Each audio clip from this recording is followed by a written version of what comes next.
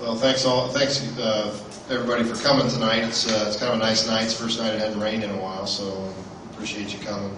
This is the, uh, it's a brain thing again, and, uh, tonight's the second part of the personality disorder talk. Um, and this is actually the last talk we're gonna have of this school year. Uh, The next, next one we'll do will start up next school year, and it'll be in September. I'll tell you more about that, uh, at the end of this talk.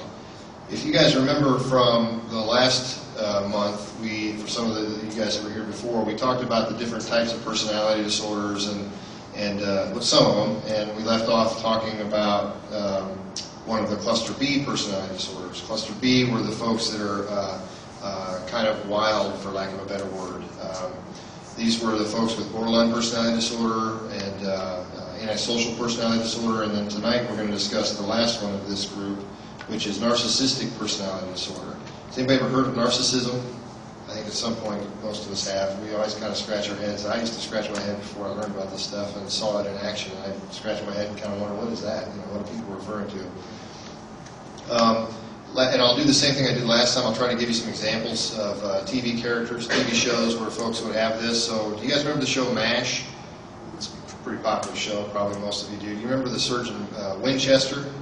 Uh, Alan Alda's character always used to make fun of him and everything. But Winchester was kind of a, he's kind of an example of a narcissistic uh, character, narcissistic personality disorder maybe. So keep him in mind, and I'll go through some of these symptoms, and you'll be able to you'll probably be able to, to uh, relate to him with some of these things.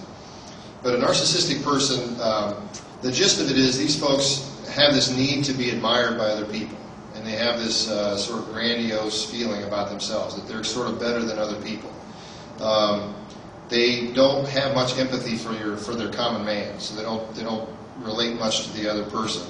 They're very caught up in themselves. They overestimate their abilities, so the things that they can do, they think they can do everything much better than everyone else. Um, they come across kind of boastful and arrogant. Uh, so when you meet somebody like that, you know you these folks kind of rub you the wrong way, and you kind of go away thinking, "God, I really don't like that person very much.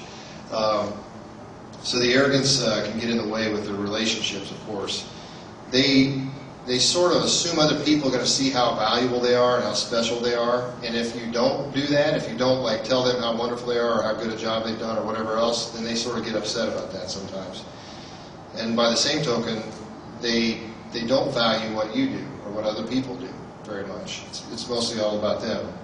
They're kind of preoccupied with a lot of fantasies about you know unlimited power, you know ultimate love, um, beauty, brilliance, you know things like that. Um, and they kind of compare themselves a lot of times to, to privileged or famous people, um, sort of like that they're along the same lines as those folks. And it, it, if you think about it, these folks they tend to have a lot of they put a lot of stock in you know your position in life and how you know you know how much power you have and all this is very important.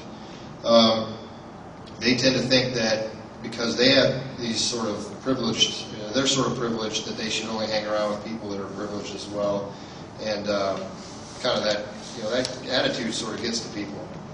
Um, in reality, inside their self-esteem is kind of low.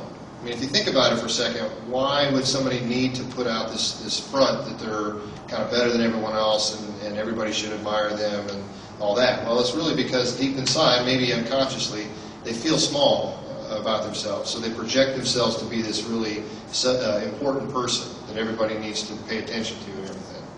So in a way, I sort of feel sorry for them because the, the way they behave, the reason they behave that way is really because they feel inadequate or insecure. Um, we'll get into a second how that can how that can show. There's there's some examples that uh, you guys are, can all relate to. I'm sure that I'll get into to explain. Um, as I as I mentioned or alluded to, they have a sense of entitlement. So these are folks who expect to be treated better than other folks, and, and they get very upset if they're not. Um, so if they go into a doctor's office or something like that, they expect special treatment or you know appointments and seeing the doctor anytime they want, or if they go to a, um, well any kind of any place of business really to do business with somebody, you know you may be waiting on them or serving them in some way, and they, they really expect the red carpet treatment kind of thing. Um, they might take advantage of other people, and that's either consciously, uh, it, sometimes consciously, and sometimes unconsciously take advantage of other people.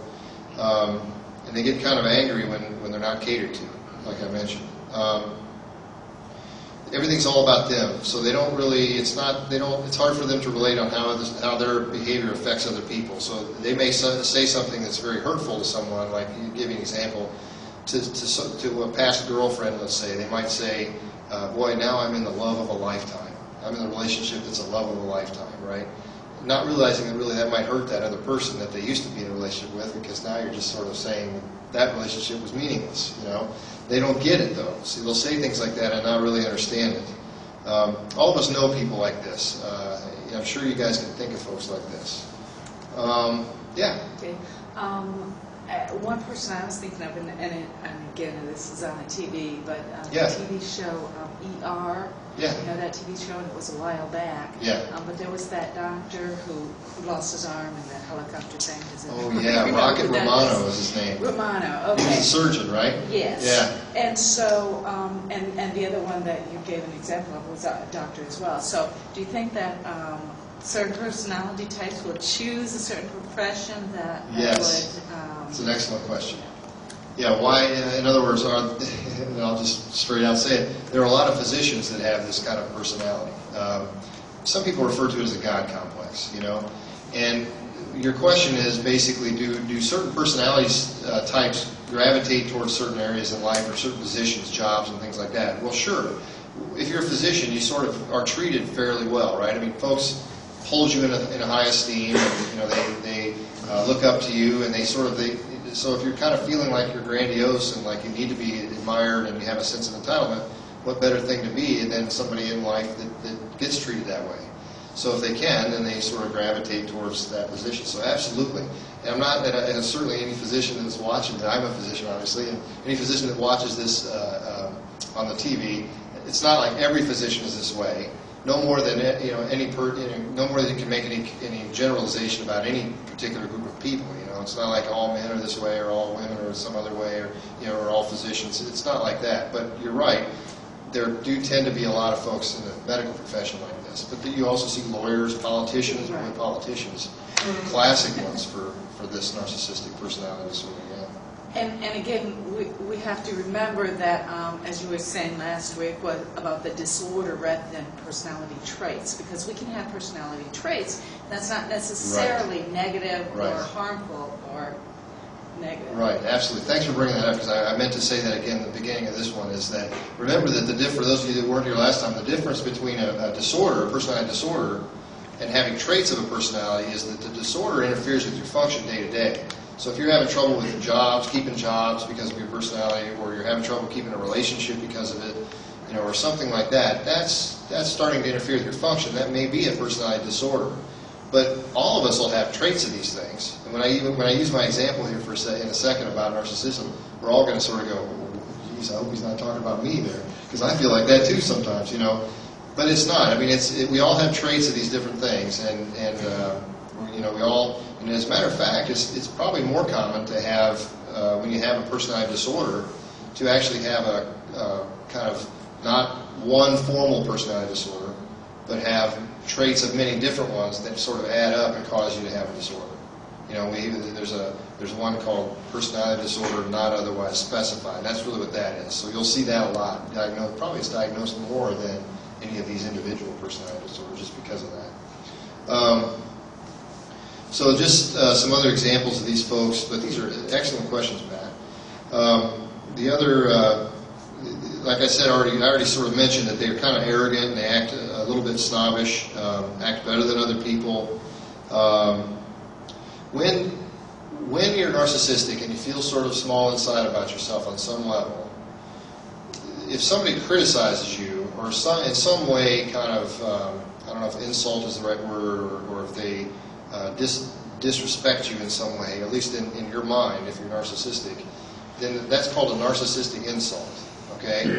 An example of that is you're driving along the road and somebody cuts you off in your car, pulls right in front of you or something like that, right? That's a to a person, well, to any of us, this is the example I was going to use for guys. I mean, all of us get upset about that, right? But not all of us run that person off the road or shoot them or, you know, some of the stuff you hear about in the news, right? You hear, hear cases where people do that, right? Pull up alongside the guy, whip out a gun and shoot him. Um, what would drive somebody to do that? Well, for, for I would hesitate to guess here to, to say that some of those folks might have narcissistic personality disorder. So that what, what's going along in their head is, how dare that person cut me off? Do they know who I am? You know, that's that sense of entitlement, that sense of grandiosity. Like, do they know who I am? Well, how could they know who you are? You know, they just driving down the interstate, they have no idea. And sometimes it might be just a little old lady or something. But uh, but they get this huge amount of anger because it's this insult that they just to their self-esteem. You know, it's in their heads anyway. It's an insult to their self-esteem. Probably the person didn't mean any of it. They either weren't looking or they maybe they were, you know, being inconsiderate. But you know, most of us don't get so angry we kill somebody. Some of these folks, these folks might. Um, not all of them, of course, but but that would be called a narcissistic rage, the anger that they get, and the the, and the, the feeling is, a, is an insult, a narcissistic insult. Another example of this would be if anybody's ever done a been, a, been in a position of supervising other people, like in a job or something. Um, you might have some young whippersnapper that thinks he knows all the stuff, you know, and he's probably he might be narcissistic. Okay, well, you try to correct him, or you try to uh, give him some ex- some examples of maybe better things to try, or saying if you say something like, you know, hey, I got a lot of experience doing this, and maybe you should try it this way. These folks, if they're narcissistic, they're going to get pretty angry about that. They don't like that. To them, that's a criticism. That's an insult. How dare you tell me I don't know how to do my job? I can do this job better than you or anyone else. And they get all upset and get in the boss's face, or if not, they sometimes go around behind the boss and you know, bad mouth and all that. So that's just another example of, of how narcissistic personality can affect you. It, it, interestingly enough, about 50 to 75 percent of the of the diagnoses for narcissistic for narcissistic personality disorder are men. I'm not exactly sure why that is, but it tends to be what happens. Um, it's about 1% in the general population, but if you look at psychiatric clinics, it's about 2 to 16% of folks that have this disorder. Um, it's, uh, it's not, there's no medicine for this, for treatment. I mean, it's basically just psychotherapy, and, you know, at the end, we'll talk a little bit about how that works, but a lot of it is really gaining insight into yourself and, you know, learning, hey, I got some of these issues, sometimes I feel small about myself inside, and, you know, working through that and realizing, hey, that's a bunch of malarkey, you're not any smaller than anyone else. So um, the psychotherapy or the talk therapy is really the, the only treatment that we know of for that. So does that does that stuff sound like Winchester, or did, did you guys remember that surgeon on ER? That guy that you don't remember that he was, but he was pretty. Yeah, he kind of treated everybody else like they were one down.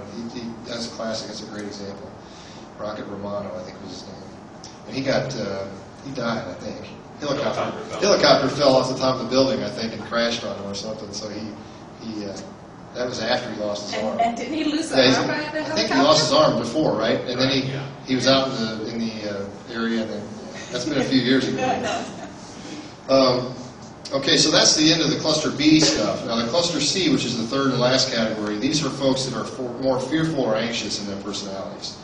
Um, cluster C um, includes avoidant personality disorder, dependent personality disorder, and then obsessive compulsive personality disorder. Yeah, I had a question, Dr. On the narcissism. yeah. Is, is it a common thing, because I've seen like with adolescents a lot, when they reach a certain stage and they're really self-absorbed, like with appearance and this and that, is it very common that the most, or if not all adolescents will go through a, a, a phase or a stage where they have a lot of narcissistic traits without the actual diagnosis or a disorder? Yeah, I don't know any numbers for you on that. The question was, uh, is it is it common for most adolescents to go through, or, or at least a lot of adolescents to go through a stage where they have a lot of narcissistic traits? I'd say traits, yeah. I don't know what the numbers are as far as um, you know how many and which would go into narcissistic personality disorder. I will say, in my experience, a lot of times these are folks who have had some type of um, uh, traumatic thing as a child. So maybe mistreated by a parent or parents leave or something, and it's something that sort of leaves a hole in their self-esteem. Yeah, and then they overcompensate by, by you know, they- they feel sort of um, broken, I guess, for lack of a better word, or self inadequate, you know. And maybe it's because mom or dad left early on, and they were sort of left with this feeling like, God, you know, if they if they if they loved me enough, if I'd have been a good enough kid, and it was worth worthy of being loved like every other kid, maybe mom or dad wouldn't have left, you know. So they have that feeling like that, and then, you know, they kind of go into adulthood with a lot of that feeling plus the anger, and it turns in, it may turn into this narcissistic personality disorder. Now, that's, that's sort of theory on my part, and just from, but I, I don't know what other folks have treated uh, folks like this, what their, uh, uh, what their experience has been, but mine has been somewhat like that. And you hate to, you know, you hate to make generalizations like that, but I mean, these things come from somewhere. Part of it is, you know, we talked about last time about personality disorders coming, or you that you're born with a certain temperament, and so a narcissistic person might be kind of an impulsive or aggressive temperament, and then have some type of traum- traumatic event that occurs that then leads them to have this, you know, broken feeling about themselves, in- inadequate feeling. But I don't know numbers as far as adolescents. I think, in general, adolescents do have a, a sense of entitlement, you know, most of them, I'd say, ones I've interacted with, and even myself, when I, if I remember back to when I was. We all sort of felt, you know, kind of indestructible and, you know, self-important and, know. So, as far as cluster C, we're going to talk about avoidant personality disorder real briefly. And the reason it's brief is because, do you remember, well, for those of you who weren't here before, we talked about uh, social phobia uh, or social anxiety disorder at one point. And, I, and there has actually been a study showing that avoidant personality is really the same thing as social phobia. These are folks that are um, kind of socially anxious, always worried that in, in, a, in a group of people, they're always worried that people are going to uh, laugh at them or they're, they're, that they're going to do something embarrassing and, and folks are going to notice. Uh, that people are going to negatively evaluate them in some way, you know, like you know, like look at so and so, look what he's, you know, look how weird he is, you know, stuff like that. And this is all, of course, in their head. I mean, it's more a psychological fear than, than reality, but but that's kind of how they feel. The the avoidant personality disorder, it sort of is what it sounds like it is. They end up avoiding a lot of things, a lot of people. So they won't be around people much. They'll avoid a lot of other things in life, and a lot of it comes from from this anxiety. Um, the example, the best example I, I came up with, and it actually wasn't me, but that my friend came up with was, you guys remember the, the movie Breakfast Club from the 80s? Um, there was a character in there that was played by Ally Sheedy, um, and she had really jet black hair, and she was sort of, she, you know, remember the show, they were all in detention. She was kind of withdrawn and wouldn't, you know, she'd always have her head down during any conflicts. She'd kind of avoid everything, you know. She wasn't right up in everybody's faces or anything like that. She was kind of the opposite. And then at the end of the show, it kind of came out that she was um, really anxious, you know, really anxious around people and such. So it's sort of, uh, I think, I think it's a pretty good character. I wish I could remember the character's name. Anybody remember that? Like, it's been too long. It's been the 80s, you know. It's, but these folks are real socially inhibited. Um, they feel inadequate. Again, you're starting to see some themes here, and they're hyper. They're sort of sensitive to criticism by other people, or at least um, fearful that other people are going to do that, even if they may, even if they don't. It's equal in men and women, and it's probably a half, like 0.5 percent to 1 percent in the uh, in the general population. Although social phobia is higher, so if you can, if you think that they're the same thing, then it's it's probably a little higher than that. And treatment actually, if, if it's really similar to social phobia, there are some medication treatments for that, uh, but psychotherapy also. Remember what we talked about with anxiety is anytime you want to treat something, anytime you want to treat a fear of something, how do you do it? Expose yourself to what you're afraid of. You don't have to do it all at once, but you know, I mean, like you don't have to. If you're socially phobic or avoidant, you wouldn't necessarily say get up and give a speech to you know 100 people. That's sort of, I mean, you could do it and it would help, but it would be pretty terrifying in the process, right? So you could slowly, gradually expose them to, to social situations, for example, and then the more they get around the, so- the stuff that they're afraid of, the social interaction, the better off they'd be, and that would sort of it. Okay, so that not not too much time on that one. The next one is uh, under cluster C is dependent personality disorders. Anybody heard of that one? And I, and I got a couple of examples. Um, some of these are better than others, but remember the show All in the Family with Archie Bunker? His wife Edith, she was sort of dependent. We'll talk about it in a minute what it is. There's also, uh, do you remember the show Roseanne? Um, there was a character, and I don't remember this one, but this my friend came up with this one. But uh, Crystal was, a, was the name of a character on that show. Do you, do you remember? Um, so some people remember. It depends on kind of what we all watch, I guess. And then there's a new uh, new show called Scrubs that I like a lot. There's a character on there, a resident named Elliot. She's probably not classically dependent, but certainly has some traits of that. Um, so keep those folks in mind, and we'll go through this in a second. Go through these symptoms here. So dependent personality disorder folks, you know, they're, they're kind of submissive, kind of clingy. Um, they have this, this, this really, this need to be taken care of by someone. Um, have a lot of trouble making decisions for themselves, even everyday decisions. Uh, they need a lot of advice and reassurance from other people to do so. Um, they're all different levels of this, by the way. So it's not, again, I mean, sort of back to the traits thing. You can have some of these symptoms without necessarily having all of them, and you can just have like dependent traits, let's say. Um, these folks are kind of passive, and they allow other people to, to make uh, decisions for them a lot of times. And some examples of things might be, I don't know if, anybody knows anybody like this, but there may be some adults that let their, that still let their parents make decisions about um, you know, where they live or what jobs they have or who, what friends they should have, things like that. These are adults now. And then by the same token, adolescents who let their parents still still pick out their clothes for them or uh, decide how they should spend their free time and things like that. That's not, I mean, I'm not trying to criticize that. I guess what I'm just saying is that most people go through this process where they start to become independent and make some of these decisions themselves, most of these decisions themselves. And these folks have a hard time with that. They, they are so fearful of losing the support of the person they depend on that they will, you know, even if they know the person is wrong about some decision they're making, they'll go along with it just because they don't want to upset or shake or rattle that person because they're afraid they may scare them off or alienate them in some way, and then they'll be left all alone. So as you as you can see, they, they're sort of really petrified or scared about the, about being alone and, being, and having to fend for themselves. So they do all kinds of things to sort of prevent that. Um, and that, that even if it means you know some other harm comes to them, you know, um, hard time doing things for themselves or projects, uh, starting projects for themselves as well. Um, they're they're almost afraid to be to look like they know what they're doing, because if they look like they know what they're doing, the person they depend on is going to say, ah, they don't need me anymore, and they're afraid they're you know again this person's going to leave their side and they're going to be on their own. So they, not saying they'll fake it or whatever, but they. Um, they might have some need to not do as well as they could otherwise do.